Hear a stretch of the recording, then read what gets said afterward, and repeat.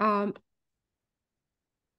it's an incredible pleasure and honor to have with us Thierry Emonet to please tell us about curiosity, chance, risk taking, and caring mentors, also known as living histories.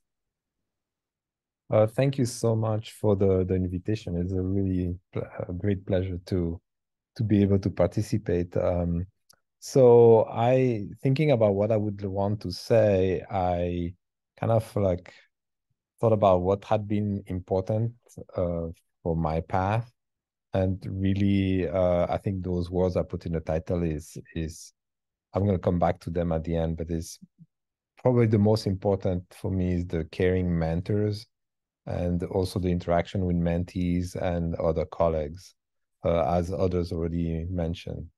Okay, so um, I grew up in a little town in Switzerland at the border between France, Italy, and Switzerland, right in the mountains.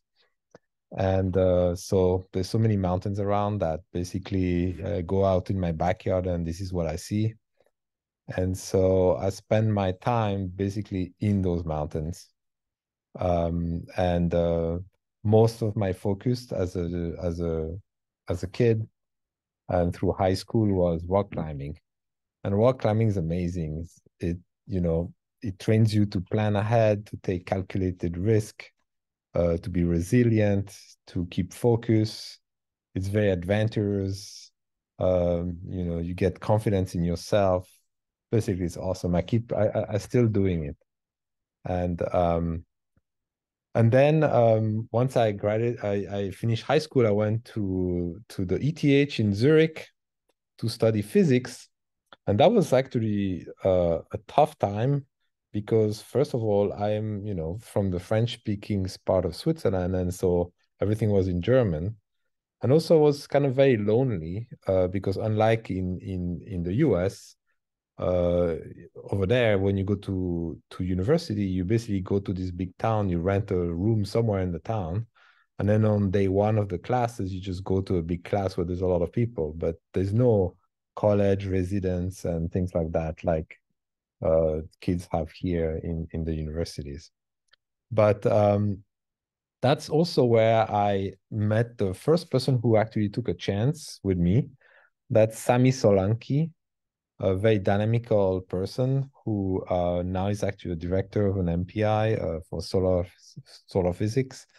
And at the time, he said, "Hey, why don't you do your master thesis in solar physics?" And uh, you know, I'm gonna send you to the Canary Islands, a tropical island on the west of uh, Africa, and you're gonna go and measure the magnetic field on the sun it was like, yeah, great. This is sounds very interesting and so on. And so off I go. And I spend like a month up on the mountain looking at the the surface of the sun with a massive telescope and trying to measure the intensity of the magnetic field um, on the on that surface. And that was very inspiring. And so later on, uh, after I got my my degree, I I actually stayed in the Canary Islands because I met uh, Fernando Moreno Insertis, who's an amazing advisor and became my PhD advisor. And with him, I did a, I did a, a thesis in theoretical astrophysics. Uh, the question was, well, how, how is it possible that the magnetic field that is generated inside the, the, the sun is able to rise to the surface of the sun to give rise to the sunspot that you see here on the left, you know? And uh, what we found was that those magnetic fields are twisted, and so there's a tangential side of the magnetic field that act like uh, its tension act like a, a protection to uh, the the magnetic flux tube that is rising through the convection zone, so it doesn't get shredded by convection. And that's how those magnetic flux tube can rise to the surface. So then, because of that, those were cool results and so on. So I got an uh, offers to go do a postdoc in in the U.S.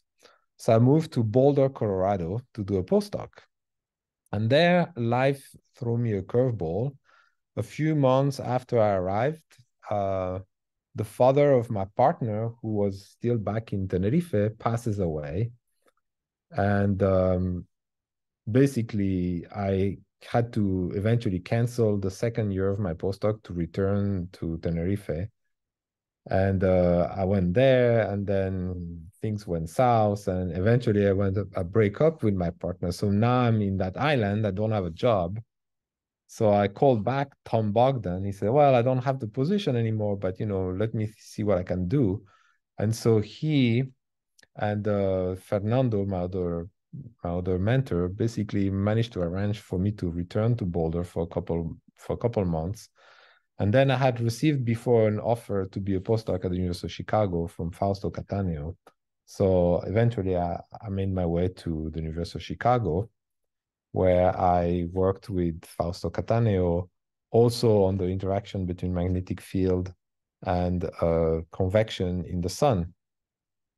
But uh, at the University of Chicago, uh, my scientific universe got expanded very much because specifically mostly because of this seminar series called computation in science seminar that leo kadanoff had started and also my conversation with him and others in the department. And uh, this this seminar series is really amazing. Um, it takes place every week. Uh, it's a discussion over lunch and the topics are ranging all over the places, but they always relate to uh, a dynamical understanding of of what's going on. So, for example, in 1999 there were talks about crumpled sheets, uh, how the heart beats, uh, Rayleigh Taylor instabilities, Maxwell's demon in sand piles, optimization and uncertainty, etc., etc. Genes, regulation, uh, elasticity of the DNA by John Marko, and so on and so that really pushed my understanding of what what one can do with a degree in physics and what with this with uh, the approach that we use in physics we can actually address a lot of questions uh, you know in many different fields. And so that eventually led me to sit in the back of the class from Philippe Cluzel, who was at the time an assistant professor. And he was giving this he had this class about the key papers in biology. And it was really fascinating because every paper he chose his analysis of the paper was always about explaining how cells compute how they make decision how they tell time etc how they find the middle uh, how dna replication works etc so it was always a connection between the molecules and eventually the function through some sort of dynamics. And so I was so enthusiastic by that that I asked him if I could actually join his lab. And the problem is that, you know, switching from astrophysics to biology, you need to find money to do that. And so we didn't have money to pay for me. And so I went to see my other uh, PI in astrophysics, Bob Rosner, who at the time was also the director of Argonne National Labs. And he told me, well, why don't you apply for a, a seed grant that the University of Chicago has to uh, to do things between Argonne and University of Chicago. So I applied for that. Uh, and eventually they they gave me the money. So I was able to decide, okay, let's I'm gonna switch my career from theoretical astrophysics to biology but that was a kind of a crazy move because you know i had been already five years after my phd i had published eight papers first author papers in astrophysics i was about to apply for faculty position no and now i'm like switching to this thing where i don't know really anything it's all on soft money and uh, i was about to get married and basically a year later i would you know i would have a kid on the way so anyway I just went for it. And uh, with Philippe, he we asked the question like, where does individuality comes from in bacteria? So this is how really he he attracted me to my lab. He said, well, I'm asking where does individuality comes from? And I thought that that was a fascinating question. And so we looked at the behavior of E. coli bacteria uh, when they are swimming in a uniform environment really, where there's no signal that they can follow. And we measure the fluctuation in the behavior of those cells together with uh, a graduate student in his lab, uh, uh, Ekaterina Korobkova. And uh, what we discovered together was that uh, the behavior of the cells exhibited very large fluctuation at very long time scale. And so the question was, where does it come from? And we realized it actually was coming from the signaling pathway. So that was fascinating because basically we have this uh, this organism that has a sensory system that generates so many fluctuation that it affects the actual swimming behavior of, uh, of the system. And then we realized actually this is good for the cell to explore space and so on. And uh, but okay, so that was a success story. We published a big paper, and then I published another bunch of paper. But uh, after two years, and then they extended it exceptionally for a third year because we had nice results. But after three years, the grant was done, and again there was no money, and I still, you know, I was just three years in biology.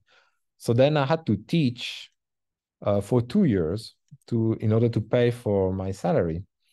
And uh, I was lucky enough that the University of Chicago had just gotten some HHMI money for teaching.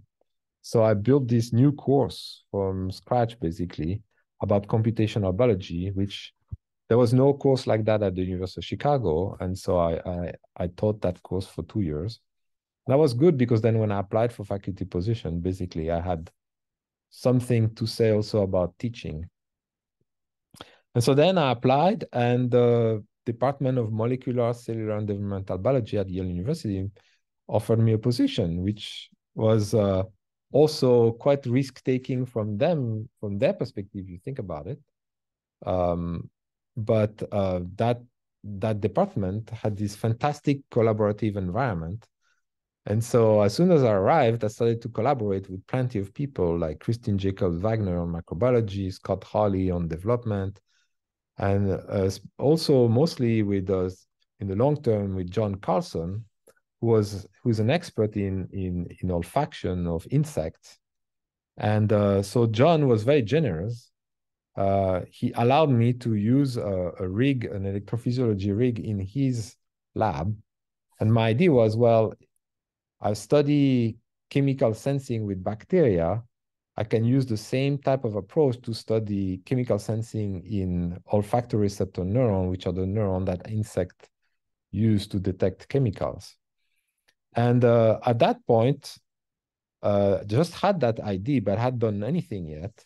Carlotta Martelli contacts me. So Carlotta Martelli was a graduate student in Italy and her husband had just gotten a postdoc position at Yale, and so she wanted to come to Yale too. So she wrote to me and say, "Well, you know, I'm I'm finishing my theoretical physics uh, PhD. Uh, I've never done an experiment, but I'd like to do some experiment." And um, so I talked to her and then say, "Well, why not?" And I told her we could take a risky chance. We could try to start to do stuff in neuroscience, which I've never done, but you know, maybe we can do the same type of experiment we do in coli and discover some cool, some interesting thing. And she decided to go for it, and she really start initiated all the research on fly olfaction in my lab. So again, that was a big risk to take, but it led to plenty of results. And uh, lately, most very recently, one thing that is interesting is that my background in fluid mechanics has come back. For example, a postdoc in my lab has built this assay, which is a wind tunnel for walking flies, in which you can see flies navigating an odor plume. And the nice thing about it is that you can see the odor simultaneously with the behavior of the fly. And so it's, it's what we tried to do initially was a von Karman street, which is the type of eddy shedding that you see behind like a cylinder in a in a in a fluid in, in a fluid mechanic experiment. But so eventually we we built this and and this enabled us to study many things uh in olfaction you know over the past 10 you know several years. So the all of that to say that basically our you know throughout through, throughout my entire career basically i've i have always uh, benefited from this interaction with people from that coming from different background and um, so eventually once we were at yale and um, with different colleagues we were we we we we managed to convince uh, the provost and the president and so on to when to build a, a new institute called the quantitative biology institute the idea being that uh, it would be a, a, place for people who are in physics, in chemistry, in engineering, evolutionary biology, biology, etc., to basically uh, attack problems together. And uh, they they went for this, and so we have now a new institute in quantitative biology uh, at, at, at Yale University. And uh, all of this really, if you think about it, has only been possible not just really not, not because of me, but mostly because of the people in the lab, because they are the one who always take risk. So, you know, once you're a professor and you tenure, the risk level for you is much lower than your graduate student, your undergrads, your postdocs, and so on. And really, the people who are doing the work in the lab are are these people.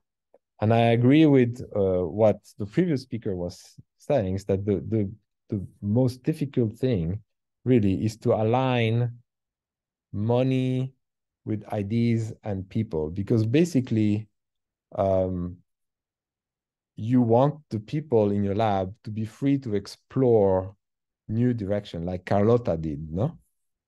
But you need to have the money for that. So typically you have to use some money you already have to enable that freedom. So really the academic system is built upside down in in in in terms of uh, you know discovery or promoting discovery. And um, if there's one thing I learned through all these paths is that really taking risk is very important. You also have to be lucky, and sometimes you're not lucky. But when you're not lucky, if you have caring mentors then everything is going to be okay. So relationship are very important. And now as a mentor of people in a lab, it's very important for me that all of their, you know, future life are successful are successful. So I try to to to really think about their career rather more than than my career. Like Tom Bogdan did for me or Fernando, Fernando Moreno Insertis did did for me. And so with that, um, I'll finish here. Oh, by the way, my lab so has bacteria and flies. So we work on two systems, which is also some some kind of crazy thing to do, but it's a lot of fun. So we keep on doing it. And thank you very much. Um, thank you so much, Thierry. On behalf of the audience, I'm clapping. In the interest of time, I'm going to ask you a very short question and then wrap the recording, uh, which is you talked about so many different um, episodes where one could say you made a very courageous choice. Um, and the flip side of courage, of course, is that things may not work out in the best case scenario that you imagine. So I wonder if you would share with us if at different stages you thought about, well, what if this doesn't work out and I have to leave academia? And did you imagine living alternate histories outside of academia? Yes, absolutely. So actually, um, when when I decided to switch, I told myself, okay, um, I really want to try this. If it works, it's going to make my life super exciting. And if I don't try it, basically, I'm going to be asking myself the rest of my life, oh, you know, wouldn't that have been really interesting? Or, and so I think that on the one hand side, you can see it as taking a risk. The other side is you can just seeing at, you know, living a life that is exciting. And um, it's you, you cannot really plan everything ahead. So you you basically following your instinct your your heart. And i think that's you know what what will keep you going in my in, in my opinion. Thank you. Music to my ears. On that note i'm closing the recording